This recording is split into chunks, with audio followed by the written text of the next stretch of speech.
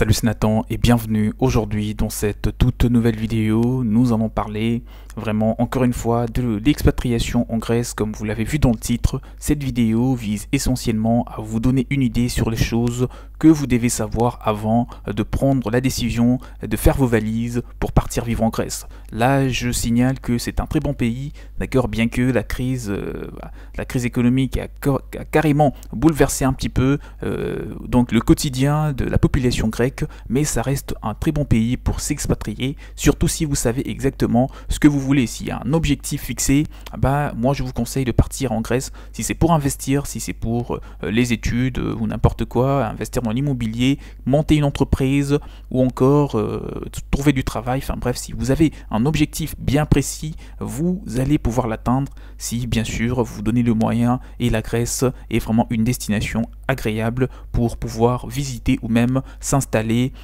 dans le vrai sens du terme. Mais avant de parler des choses que vous devez savoir avant de s'expatrier, en Grèce, je vous conseille de vous abonner à la chaîne, activez maintenant la cloche de notification que vous êtes en train de voir en dessous de la vidéo. Je vous invite de l'activer pour que vous soyez tout de suite alerté sur les prochaines vidéos qui sont publiées dans le but de vous apporter davantage de la connaissance sur différents sujets, notamment l'expatriation ou encore euh, vraiment l'investissement immobilier. Et si vous voulez vous faire, vous faire accompagner afin de vous aider, de vous accompagner bien sûr dans les démarches visant à obtenir un visa qui vous permettra de rentrer, euh, donc, euh, de rentrer légalement en Grèce, que ce soit le visa d'affaires ou tout type de visa, je vous invite à me contacter afin que je vous fasse bénéficier d'un accompagnement. Il y a une équipe qui est là, qui vous aide dans l'expatriation dans plus de 150 pays et il y a aussi un guide qui est en format PDF que je vous ai mis à disposition dans le but de vous apporter un maximum d'informations dans le pays qui vous intéresse, notamment en Grèce. Vous aurez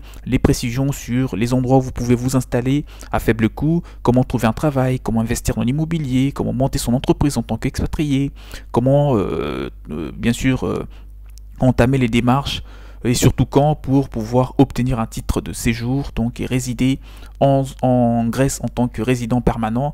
Tout cela, ce sont des choses que vous ne pouvez pas euh, savoir, d'accord, en tant qu'expatrié. Et moi, je vous ai réuni dans un seul document pour en bénéficier. Vous n'avez qu'à me faire un petit mail, c'est dans la description de la vidéo en dessous, afin que je puisse vous en faire bénéficier. Donc le premier, la première chose qu'il faut savoir déjà, ce sont les formalités administratives. Ça, c'est parmi les choses que vous devez savoir avant de vous expatrier en Grèce. Et moi, je commence par vous informer que si vous vous installez en Grèce, il est vivement conseillé de vous inscrire. Déjà, la première des choses, c'est de passer auprès de votre ambassade qui est en Grèce afin de vous inscrire au registre euh, donc euh, qui est là dans le but de vous faire identifier si par exemple vous avez un peu pas de santé, si ça nécessite, ça nécessite un rapatriement, si quelque chose de mal vous arrive ou même s'il y a des élections dans votre pays, ah bah vous, vous serez répertorié et vous allez pouvoir bien sûr prendre part à tout cela, même des événements. Donc le consulat pourra également contacter vos proches en cas d'urgence, etc. La première chose c'est bien sûr vous présenter auprès de l'ambassade et vous enregistrer. Et dès lors que vous avez, si vous avez le projet bien sûr de de résider en Grèce pendant une durée supérieure à 3 mois, sachez que dès lors que vous dépassez le 90 jours, il faudra que vous puissiez entamer les démarches pour obtenir un titre de séjour qui sera valable 5 ans. Et ces démarches sont gratuites. Donc euh, vous allez simplement vous, présenter auprès de la préfecture de police la plus proche, vous ramenez les documents exigés gratuitement, vous obtiendrez votre titre de, ce, séjour, ça prend je pense 3, euh, semaines maximum, voire moins, ou même un mois, bah, ça dépendra de ce que vous désirez, mais ce qui est sûr, vous l'aurez et c'est gratuitement, dès lors que vous l'avez, ça va durer 5 ans. Après 5 ans, vous pouvez refaire une nouvelle demande pour obtenir un titre de séjour, donc le permis de séjour en Grèce, dès lors que vous allez euh, faire la deuxième demande, eh ben, ça sera pour une très longue durée. Donc à ce moment-là, vous aurez un autre, donc une autre carte ou un autre permis, euh, un autre permis de séjour qui sera pour des résidents permanents. Donc vous ne serez plus un résident temporaire durant les 5 premières années, c'est en tant que résident temporaire. Donc ça prouve que vous n'allez pas forcément rester plus de 5 ans en Grèce. Dès lors que vous passez 5 ans en Grèce, vous allez faire une nouvelle demande pour obtenir le titre de séjour, donc la carte de séjour, et ça sera pour donc euh, plus d'années en tant que résident euh, permanent comme je viens de le dire. Vous pouvez vous inscrire en ligne et scanner les documents requis, à savoir une carte d'identité ou un passeport. Donc euh, pour tout ce qui est démarche visant bien sûr au titre de séjour.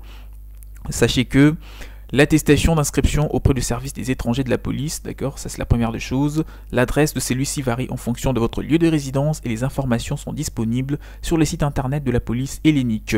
Et pour tout ce qui est, par exemple, euh, voilà donc documents, bah, sachez qu'il faudra déjà votre passeport, euh, les documents qui justifient votre résidence, etc. Ce sont les choses vraiment dont vous devez disposer et de toute façon vous aurez la liste voilà donc euh, qui vous sera fourni à la préfecture la plus proche donc euh, des photos d'identité, etc. Si vous, êtes en Grèce pour travailler, un contrat de travail, si c'est pour investir, bah, prouvez que vous êtes un investisseur, par exemple en immobilier. Si vous avez créé une entreprise, euh, ramenez un extrait d'immatriculation de l'entreprise. Ce sont les documents qui vous permettra d'obtenir, bien sûr, un titre de séjour. Un autre point que nous allons aborder, c'est déjà, euh, bien sûr, c'est le fait d'ouvrir un compte bancaire en Grèce. Vous devrez vous munir d'une preuve de votre adresse professionnelle pour ouvrir un compte bancaire en Grèce. Donc euh, ramener quelque chose qui justifie votre domiciliation dans ce pays, une preuve de votre domicile, une preuve de votre revenu mensuel et annuel et un certificat de résidence fiscale. Bon à savoir, il est possible de retirer de l'argent gratuitement sur votre compte, donc euh, pour le français plus précisément avec la carte de retrait internationale. Donc c'est possible et même pour tous les ressortissants des pays faisant partie de l'Union européenne, de la zone euro, vous pouvez gratuitement retirer de l'argent en Grèce donc euh, sans payer de l'argent. En ce qui concerne les communications, il existe des abonnements comprenant les téléphones fixes, mobiles, Internet et la télévision. Les tarifs sont similaires un petit peu à celui qu'on trouve euh, dans d'autres pays de l'Union européenne. Pour parler du coût de la vie, ça c'est aussi important, euh, c'est bon à savoir avant de partir en Grèce. Et dans ce pays, pratiquement tout est moins cher. Si je le compare à la France, comme je l'ai dit dans d'autres vidéos, tout est moins cher comparé à la France ou même dans d'autres pays. Malheureusement, les salaires suivent la même tendance. Par exemple, vous payerez en moyenne 35% de moins pour pouvoir donc faire de courses au supermarché que dans l'Hexagone. Pour un repas au restaurant, comptez entre 16 et 35% de moins selon bien sûr la catégorie de l'établissement. Mais ce qui est sûr, c'est que vous allez quand même payer beaucoup moins d'argent pour, euh, voilà, donc, euh, pour vous nourrir en Grèce. Côté loisirs, il faut dépenser environ 7 à 8 euros pour le cinéma et 30 euros pour la salle de sport, etc. Les transports, ça reste également beaucoup moins cher. La seule, la seule et l'unique chose qui pourra vous faire dépenser un petit peu plus d'argent, c'est au niveau donc euh, du logement. C'est côté loyer, donc on constate que pour un appartement d'une pièce au centre-ville, ça, ça pourrait vous coûter entre 280 à 350 euros. Donc c'est peut-être la seule chose que vous allez un petit peu donc euh, qui vous fera dépenser de l'argent. Et euh, si vous avez par exemple une source de revenus, une bonne source de revenus, bah, sachez que vous n'allez pas sentir cette, cette charge, ça vous paraîtra beaucoup moins élevé, toujours beaucoup moins élevé que dans d'autres pays, là je vois plus précisément ceux qui proviennent euh, de la France ou encore de la Suisse, donc même du Luxembourg, puisque ce sont les pays, l'un des pays, ou même du Royaume-Uni, hein, donc ce sont les pays où le coût de la vie est quand même bien plus élevé, si on le compare à la Grèce, ah bah il euh, n'y a pas match. Néanmoins, des différences existent selon les régions et la ville. Sans surprise, la capitale et les lieux touristiques affichent des prix les plus élevés que dans d'autres villes secondaires comme la ville de Thessalonique. Là, on arrive tout doucement vers la fin de la vidéo. Une autre chose à savoir sur, euh, sur vraiment le fait de travailler en Grèce pour ceux qui veulent s'expatrier en Grèce dans le but de travailler, il est important que vous reteniez qu'il y a un taux de chômage de 23,4%. La Grèce se remet difficilement de la récession. Pourtant, il est bien loin de, des points vraiment de 27% enregistrés au plus fort de la crise. Ça, c'est important. En revanche, si vous êtes flexible, il existe de nombreux emplois dans les secteurs touristiques et de services. Par exemple, euh, voilà donc euh, vous pouvez vous faire embaucher très facilement en tant qu'étranger dans l'industrie du commerce des gros et des détails, dans l'hébergement aussi, dans la restauration et dans la préparation d'automobiles. Ce sont les secteurs d'activité qui emploient aujourd'hui le plus d'expatriés ou même le plus de personnel, vraiment que ce soit des Grecs, euh, des locaux ou des étrangers. C'est dans ces secteurs-là que vous aurez vraiment la chance de trouver ou de décrocher un très bon emploi. Et pour une petite précision, en Grèce, bah, les, les employeurs sont un petit peu de flemmards, d'accord? Ils ne sont pas là en train de poster ou de publier des annonces ou des offres d'emploi sur les sites, bien qu'il y en a et ces sites sont très connus, mais la plupart du temps, les offres d'emploi, ça c'est ça se passe un petit peu du bouche à oreille. Donc il est important une fois que vous arriverez dans le pays, si c'est pour travailler en Grèce, bah, de commencer par vous inscrire par exemple dans les groupes d'expatriés, etc., de parler un petit peu avec des locaux, des gens déjà installés, parce que c'est eux qui vous orienteront pour trouver un emploi. Et si vous voulez investir, bah ça, il n'y a pas quelque chose de difficile. Vous vous présentez auprès des professionnels, sinon vous pouvez passer par moi. Comme je l'ai dit, il n'y a pas que des formations, il n'y a pas que le guide que je vous ai réuni. Justement, dans ce guide, vous allez trouver les agences immobilières avec lesquelles nous collaborons pour pouvoir vous orienter pour investir favorablement dans l'immobilier en Grèce en tant qu'expatrié. C'est pareil pour l'immatriculation de votre entreprise, etc. Vous aurez toutes les précisions. Et pour l'accès aux soins, puisqu'on arrive à la fin de la vidéo, la crise a, bien sûr affecté considérablement la qualité du service sanitaire grec, mais aujourd'hui, euh, il n'y a, a pas du tout à s'alarmer. Tout va très bien, donc les réductions budgétaires imposées aux hôpitaux ont eu des répercussions sur les patients, nécessitant parfois l'intervention d'ONG, mais ça va vraiment beaucoup mieux qu'il en était euh, auparavant. Donc pour d'autres points, sachez que pour tout ce qui est conduite en Grèce, le permis de séjour ou le permis de conduire français est valable en Grèce, pour information, et, des plusieurs autres pays d'Europe en tout cas.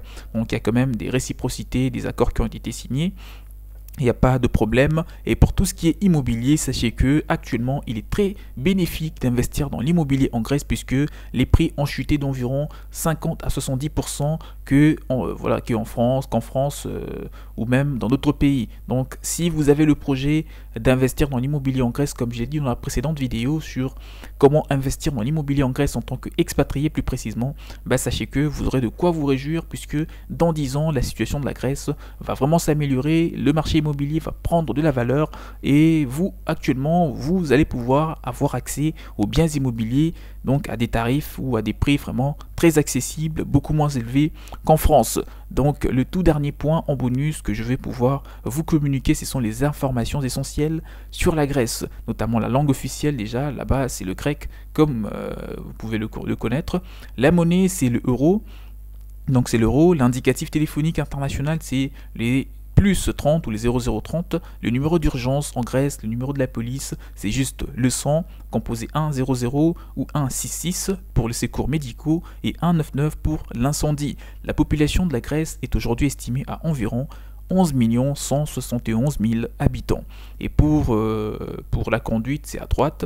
Et pour, pour, pour boire, sachez que, donc euh, voilà, en Grèce déjà, pour revenir, les gens roulent du côté 3, et pour le pourboire, peu habituel, bien que recommandé en cas de service de qualité. Enfin bref, là c'est sans des petites sans compter tous les endroits ou les sites archéologiques, euh, vraiment donc les endroits historiques de la Grèce, que vous allez pouvoir visiter. Et voilà, cela va vraiment rendre votre séjour agréable dans ce pays. Si vous voulez vous faire accompagner encore une fois pour pour vous expatrier en Grèce, contactez-moi, le mail en dessous de la vidéo pour échanger et activer en fin de compte la cloche de notification qui est juste là pour ne rien rater sur les prochaines vidéos sur l'expatriation ou même sur l'investissement. On se dit à la prochaine, ciao ciao